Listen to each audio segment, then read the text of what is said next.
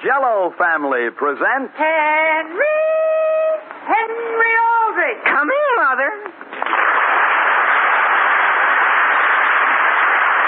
Yes, it's the Aldrich family based on characters originated by Clifford Goldsmith and starring Ezra Stone as Henry with Jackie Kelk as Homer.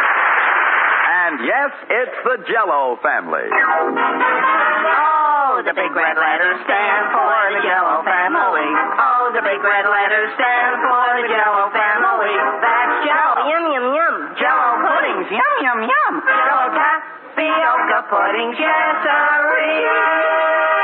And now for the Aldrich family.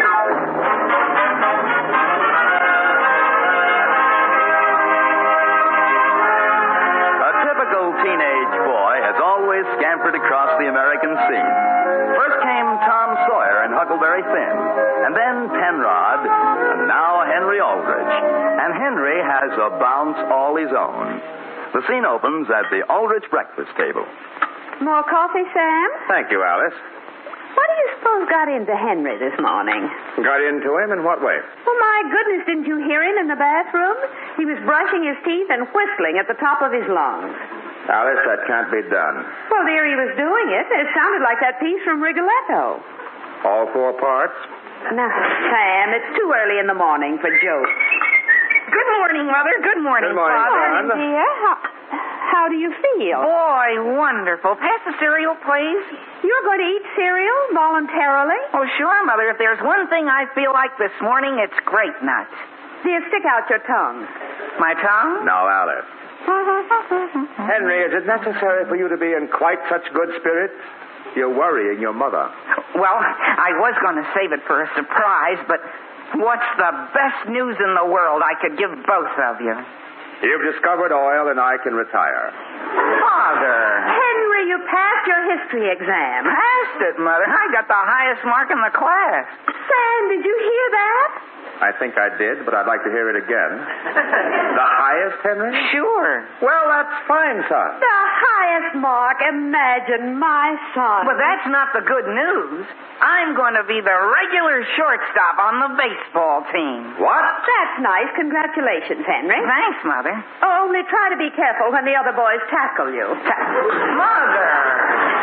Well, Henry, shortstop, eh? Yes, sir. First thing, eh? Sure thing. Well, well, well, well. When did Coach Nelson tell you, Henry, Tell me what? that you were the first string shortstop? Why, uh, he didn't exactly tell me in so many words, Father. No. Well, not in so many words. Well, what did he tell you? Well, Father, I didn't have to be told. It's obvious. Sam, let him finish his breakfast. He'll be late for school. In a moment, Alice. Henry, would you mind telling me how it is obvious? Father, do you remember Steve Armstrong? Wasn't he the regular shortstop last season? Sure, that's just it. He's not around this year. He had a fortunate accident. Accident. Sure, he graduated. then Tommy Dixon moved to Abbott City, and that just left Willie Marshall and me. And you're that much better than Willie? No, but he flunked his history exam, and so he's ineligible. So don't you think? Don't you think I'm a pushover? No. Suppose some boy you don't even know about shows up at practice and takes shortstop away from you. Father, you're talking just like a lawyer. I am a lawyer. Sam, if Henry feels confident he's a pushover. Alice, he's just counting his chickens before they're hatched. But gee whiz, they even gave me a uniform. That's how set I am. You had a uniform last year. Sure, but this one fits. it's even got a number on it. Gee whiz, last year they wouldn't let anyone know who I was. Sam, the evidence certainly sounds very convincing. Alice, I'm not saying Henry won't be the shortstop. I just think he ought to keep quiet about it until he's certain. But Father. Then, Henry, there'll be no chance of your making a fool of yourself. Hey, Henry. Oh, gee whiz. Is that Homer already? I had the same reaction. I'll be right with you, Homer. Henry, your breakfast. Mother, I finished all but a few grape nuts, and I'll crunch them on the way to school. Hi, Homer. Henry, hurry up. We're going to be late. What are you eating? My, my breakfast. Yeah? Did I ever mention I'm crazy about grape nuts? Homer, I need my strength. Well, do you mind if I hold my palm under and catch what falls?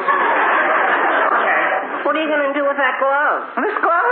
This baseball glove? Yeah. Oh, nothing, Homer, nothing. Oh, let's cross the street. Henry, are you trying out for the team again? Trying out? Homer, if you only knew. Knew what? Uh, nothing, Homer. And quit trying to make me make a fool of myself. Henry, tell me. No. Please. No. But it'll be on my mind all day. And I have enough trouble concentrating on my curriculum. Well, Homer, can you keep your mouth shut? You know me, Henry. That's what I mean. Can you keep your mouth? Scout's.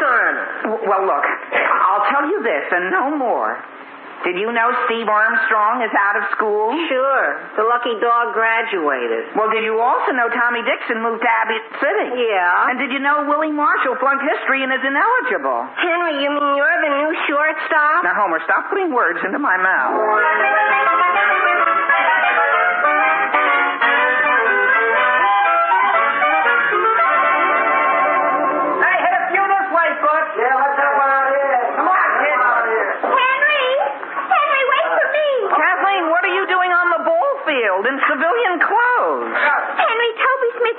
Me you were all set for shortstop. Well, gee whiz, Toby told you that? Yes. Well, gee whiz. That just shows how people twist innocent little statements around. All I said to Toby was that when he takes the official pictures of the team, I'd like an enlargement of shortstop to give him to my mother on her birthday. Oh, then it isn't true. Well, all I can tell you, Kathleen, is that at the end of the season, I may have a little something for your charm bracelet. My charm bracelet? Henry, it isn't gold, is it? Why, it might be. And round? Well, I. Henry, you're giving me your gold varsity baseball. Now, Kathleen, I didn't mention anything specifically. Okay, all you infielders over here. Oh, boy, that's Coach Nelson. I have to go now, Oh, Kathleen. of course, Henry. My goodness, Geraldine, wait for me. Aldrich? Were you calling I, Coach? Yes, get out there. Short. I'm going to hit some grounders for fielding practice. Sure thing, Coach. Now, lots of the old pepper boys. Come on. come on, Let's go, gang. Give me old pepper, the old pepper. Oh, boy, oh, boy, oh, boy. Okay. Here it comes, Aldrich. Come on. I got it, oh, boy, oh, boy. Gee whiz, where did it go? Between your legs. Who did? How'd it get down there? Okay, try it again, Aldrich. Get down a little lower. Here it comes. I got it.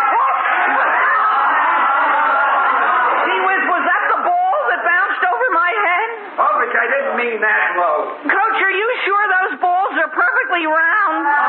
What's the matter with you? Well, I, I don't want you to think I'm making excuses, Coach, but you see this glove? What's wrong with it? I'm glad you asked. Gee was my father used it to rip barbed wire off the backyard fence. I see. But I'm planning on taking it to the shoemakers right after we're through. And maybe you better do it now. You're excused for the rest of practice. Okay, everybody, over the sliding set. Thanks, Coach, and you'll see a big difference tomorrow. Gee whiz, Agnes. Why, kid, am I proud of you? Am I proud of you? Shake. Agnes, quit. That's my throwing hand. Say, you won't be getting two gold baseballs, will you? Well, gee whiz. Did Kathleen tell you about that? No, Margot Hammersmith. Well, how could she? I don't even know her. Sure, but she pumped it out of Geraldine Love, who pumped it out of Kathleen. Boy, where's Kathleen now? Oh, we're being pumped by Nancy Adams. Someone can say, when you get two gold baseballs, you won't forget your old pal Agnes, will you? Oh, listen, Agnes, I'll thank you not to go counting any chickens. Well, when did I do that? You know darn well. The next thing you know, it'll be all over school, and there I'll be making a fool of myself. Listen, kid, you don't have to worry about me. I can keep a secret as well as the next guy. Hey, Charlie, wait Uau!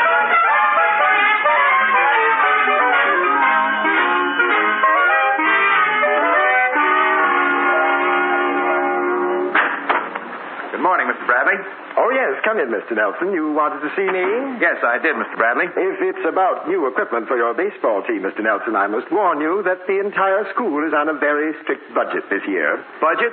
But, Mr. Bradley, I... Frankly, the number of broken bats we had last year when balanced against the results achieved was quite out of proportion. Uh, quite out of proportion.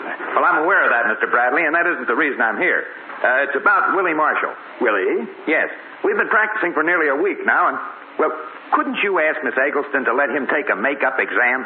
Well, now, I'm not sure I could do a thing like that, Mr. Nelson. Mr. Bradley, he's our best shortstop. We're not here to play baseball, Mr. Nelson. The boy is expected to have scholastic standing as well. I know that. And that's one thing Willie seems to have very little uh, of. Well, hey, but our first game is this coming Friday, and if I can't get Willie, I'll have to use Henry Aldrich at shortstop. Henry? Yes. At shortstop? Yes. My, my. He tries hard enough, but he just isn't up to it. So if you could put a little pressure on Miss Eggleston. Uh, Mr. Nelson, I'm afraid this is a matter for Miss Eggleston to decide for herself. Oh. Well, I tried. I better get back to my chemistry class. Uh, yes, you'd better. I hope it's still there. When I left, Homer Brown was trying to make synthetic rubber. Homer, hurry, Mr. Nelson. and would you ask Miss Shea to step in here, please? Uh, Miss Shea, Mr. Bradley would like to see you. Yes, Mr. Bradley. Would you send a note to Miss Eggleston? Say I'd like to see her when she's free. Yes, Mr. Bradley. Tell her it's about that series of slides on the War of 1812 she's been asking for. But, Mr. Bradley, I thought you decided we couldn't afford those. I know, Miss Shea, but it certainly won't hurt to discuss the matter.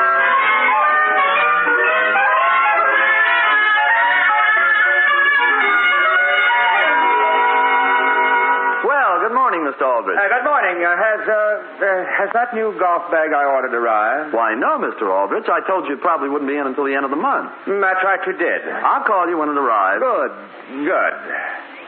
Say, as long as I'm here, um, what have you in the way of baseball gloves? Baseball gloves? I'm not in the market for one yet, you understand, but it can't hurt to price what you have. Well, the glove you have in mind isn't in stock right now. Uh, the one made especially for shortstop. Shortstop?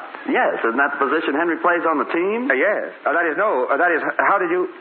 Well, you see, we're not at all sure yet. No? Well, I heard from a number of people that he's all set. You have? Yes, as a matter of fact, I was discussing it just yesterday with Walter Trumbull, and he lives at Mrs. Tompkins, you know. Well, what is that to do with? Mrs. Tompkins' brother is janitor down at the school, so it's right from the horse's mouth, you might say. Well, well, is that so? Yes. Well, I'll tell you, as long as I'm here, I might as well get that glove after all. I'll have to order it from Chicago. You'll have it in a week. A week, but the first game is Friday. Call Chicago and tell them to rush it out airmail. But, Mr. Aldrich, it'll cost I'll about... pay the additional charges. We can't have the first string shortstop playing in a ripped glove. Come in. Hi, Coach. You wanted to see me? Oh, yes, Henry. Come in. Thanks, Coach. Uh, did I mention all your worries are over? They are? Sure. Boy, I'm getting a glove that's so foolproof they practically refund your money if you make an error with it. Fine, Henry, fine. Uh, Henry, the reason I called you in, Uh, yes, Coach? the reason I called you in, Henry, you know what I admire about you most? What, Coach? Your spirit. Yes, sir. Coming out for the team year after year, never getting discouraged. You know what that proves to me? What? That you realize it isn't only the man in the pitcher's mound is important. Oh, gee whiz, sure, the shortstop's pretty important, too. Of course, but the man behind the scenes is sometimes just as valuable. He is? That's why I feel I can give you a job like this. Because you'll realize that tutoring Willie is as important as being out there on the field yourself. What? Henry, Miss Eggleston has agreed to give Willie a makeup exam tomorrow. But, Coach, I... So what do you say, Henry? I know you can help him. You got the highest marks in the class on that exam. Why, uh, Coach, uh, could I sort of get something straightened out in my mind first? Sure, Henry. Well, if Willie passes, he'll play shortstop in the game tomorrow, won't he? Why, yes. But you'll be the one who made it possible. Oh, So, Henry, will you do it? why, uh, sure. Henry, I'd like to shake your hand. Sure, Coach, shake. Shake. Shake. Yes, sir, you've really got the kind of spirit I admire. Gee whiz, that's okay, Coach. I'm always glad to do what I can for the team.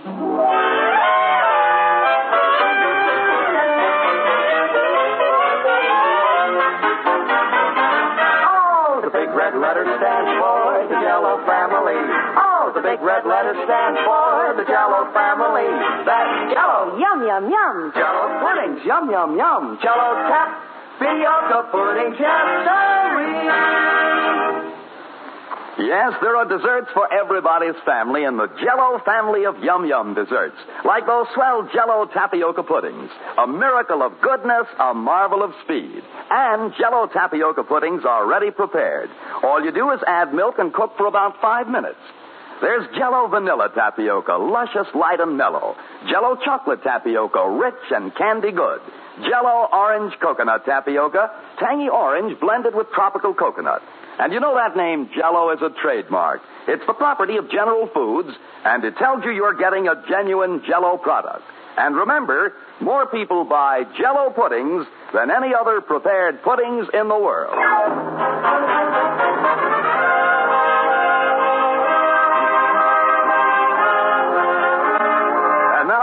Back to the troubles of Henry Aldrich. Henry has been so confident he was going to make shortstop on the baseball team that he spread the rumor all over school. Then Coach Nelson asked him to help Willie Marshall pass a makeup exam which would enable Willie to play shortstop. The scene opens in the Aldrich living room. It is after dinner. Mother, is Father very upset? No, dear. He just thought a walk in the fresh air might do him good. Ah. But in the future, Henry, when you have news like that to tell him, why not wait until after dinner? Hey, Henry. Dear, when Willie comes, I put a bowl, bowl of fruit in the living room. Hi, Hen, old timer. Here, I brought something to cheer you up. What is it? Bubble gum. I made it in chemistry. Henry, you're not really going to go through with helping Willie, are you? Homer, I promised the coach. You'll be cutting your own throat. I know, but I- Besides, Willie's too dumb to teach anything to. Willie? Sure. Dumb? Homer, have you ever tried to do business with him? I know, Henry, I know, but when it comes to history, he comes apart at the seams. Gee whiz, the only thing Miss Eggleston's ever been able to make him understand is a Louisiana purchase. That's true. And she's a professional. Homer, you're right. If it would, well, if it would do Willie any good, I'd be glad to make the sacrifice. but... There he is, Hen. Tell him you're not going to do it. Hiya, fellas. Well, here I am, Hen. Uh, uh, look, Willie. Boy, I sure appreciate what you're doing for me, Henry. Uh, Willie, I've been thinking the whole thing over, and I've decided. Well, it isn't that you're hopeless, you understand. Henry, please answer the phone. When I'm just about to break the news to Willie. Hopeless about what, Henry? Dear, please answer it. I'm busy. Henry? Uh, Wait here, Willie. What am I hopeless about, Homer? You'll find out, Willie. Hello? Hi, Hen. This is Toby Smith. Hi. Do you have a picture of yourself for the school paper? Of me? Yeah, we're going to run a story on how you're sacrificing yourself for the good of the school. Well, uh, Toby, uh, about that. Boy, a lot of kids in the school have changed their entire conception of your character. They have, but but So bring a picture to school tomorrow, will you? So long, Hen. but Toby. Oh boy. Henry, is it all right to let Willie have an apple, considering you're throwing him out in a few minutes? Homer, I can't throw him out now. I've got to try to help him pass. Are you crazy? Well, if I don't, I won't be able to show my face around school again. But if you do, you won't play shortstop. I know, Homer. That's the spot I'm in. Willie! You're calling me, Henry? You're going to tell me why I'm not hopeless? Uh, Willie, forget about that. Uh, where's your book? We've got to start studying. Here it is. Willie, what did you have the most trouble with on the exam? The date. When a number's not in dollars and cents, I just can't keep it in my head. Miss Eggleston will probably ask me all about dates. Well, uh, let's start with the date then. Um, when was the Constitution put into force? The Constitution? Yeah. You want the day and the month or just the year? The year, Willie, the year. oh, let's, let's see now. It wasn't 1776, I know that. That was the 4th of July. Willie, are you dumb? Is that so? I can name the president on every piece of money we've got. Can you? Willie, I've got to get you to remember. Look, the Constitution was signed in 1789, but don't think of it as 1789. Just think of it as uh, $17.89.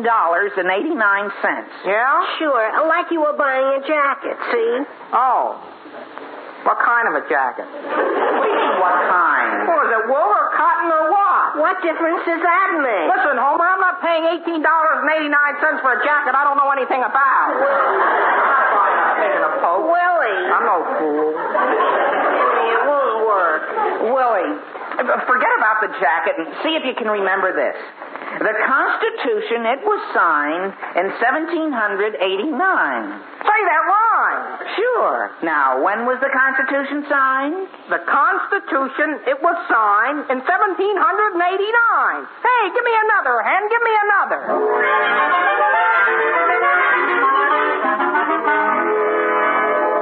William Marshall, you may come in now. Oh, thank you, Miss Eggleston. And I don't want to rush you, but did I mention the game starts in half an hour? I'm aware of that, William.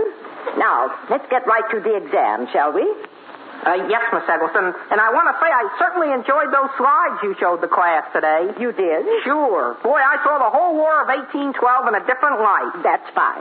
Now let's start. We'll take the exam orally. Sort of word of mouth. Yes. First question What were the four phases of the revolution?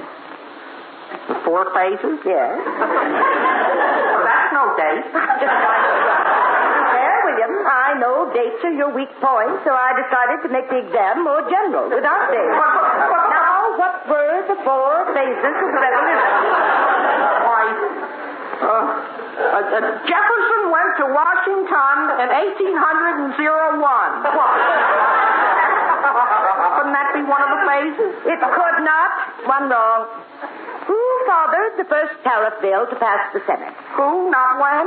You don't know that either? Miss Eggleston, it doesn't rhyme with anything. I Beg your pardon. Oh, I mean, is that the one that's $17.89? Well,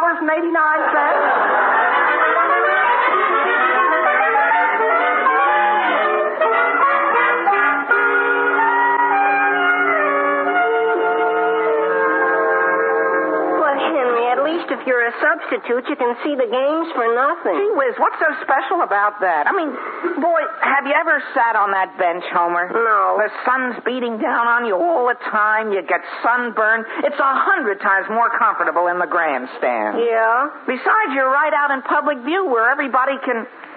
can. Can what? Listen, Homer, if I'd rather be a spectator, why should you worry? Oh, there you are, Henry. Hello, Father. Henry, your new glove just arrived Air Express.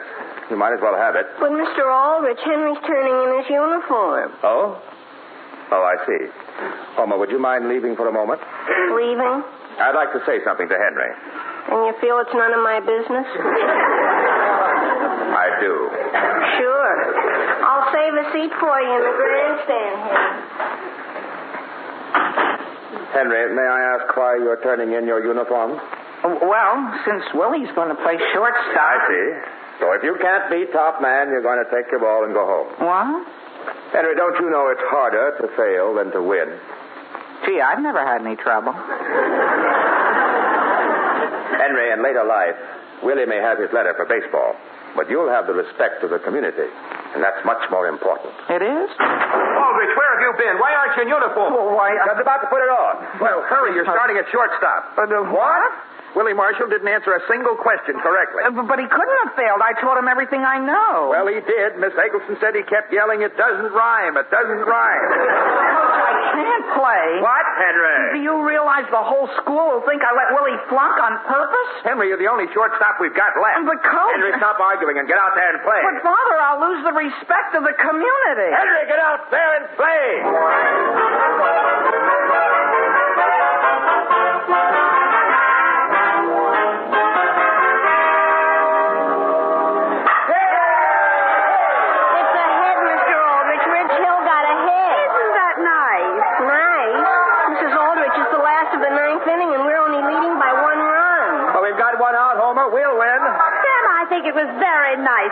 Of the coach to let Henry play right out there in the middle of the whole field. Alice, that's where the shortstop usually plays. Oh, well, I think he's doing beautifully so far. Sure. There hasn't been a ball hit to him all game. I still don't understand why all the young people boo every time he comes up to bat. Alice, it's a little hard to explain. Oh, boy, oh, boy. George Bigelow just walked another Ridge Hill man. Now there are two on. Oh, but we're still ahead. But their heavy sluggers coming up, and if those two runners score, we'll lose. Strike 'em out, George. Strike Strike 'em out. He couldn't hit the side of a barn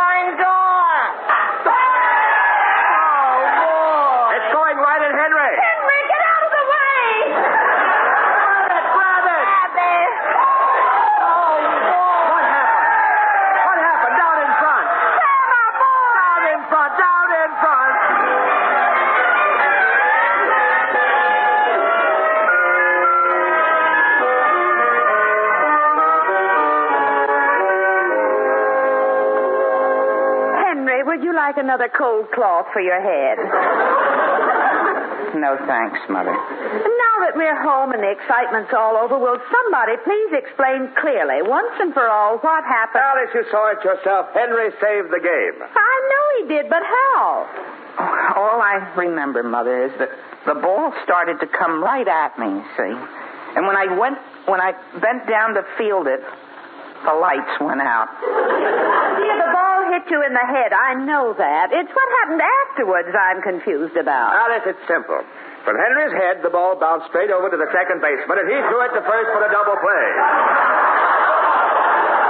My goodness, I should think there'd be an easier way to make a double play. There is, Alice.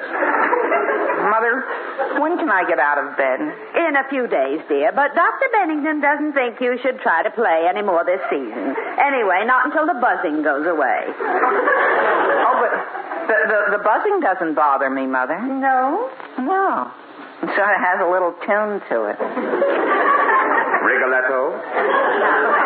Henry, are you in your room? Yes, dear, he is, but try to be quiet. Well, I've got good news for him. Henry, Willie told all the kids how Miss Eggleston double-crossed him, and they asked me to give you their official apology. No kidding. They forgive me? Sure. They're even sending you flowers. No kidding. Willie's over at the undertaking parlor right now making...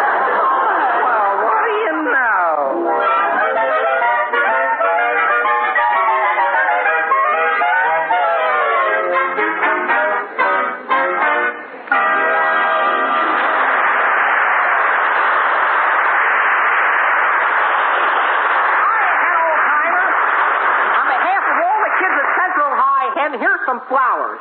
And we vote you the swellest guy of the year. Well, gee whiz, Willie. Gee, thanks. And Henry, I'd like to make a deal with you. Uh, the undertaker says these straw flowers are everlasting. The straw flowers are? Yeah, so could I borrow them back to give to Miss Eggleston for Easter? What a man, Willie. But here's my special tip for Easter a surprise dessert for the kids made with Jello tapioca pudding.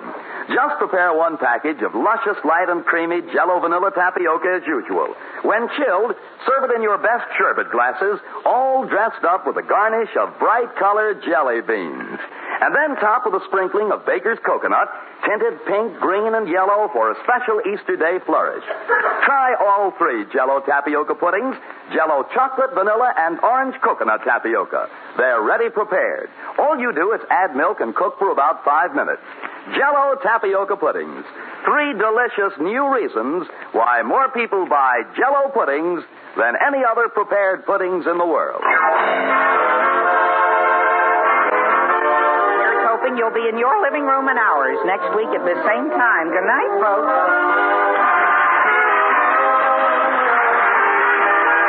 The Aldrich Family, starring Ezra Stone as Henry with Jackie Kelk as Homer, is written by Norman Tokar and Ed Jurist with music by Jack Miller. Mr. and Mrs. Aldrich are House Jameson and Katherine Ross. And this is Dan Seymour in New York saying, The Aldrich Family is brought to you by the Jello family. Oh, the big red letters stand for the Jello family. Oh, the big red letters stand for the Jello family.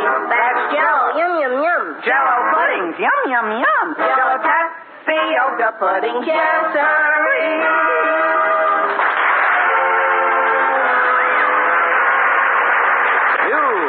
As new a rhino climbing a flagpole. Amazing, the only one of its kind. That's Minute Rice. Minute Rice for magically quick, quick meals. Here's delicious, white, fluffy rice that you don't have to wash, rinse, drain, or steam. It's even quicker to fix than potatoes. For all you do is drop Minute Rice in water and bring to a boil. Minute Rice can be the mainstay for all sorts of delicious, quick, quick meals. Try it. Remember the word minute. Minute Rice in the red, white, and blue box.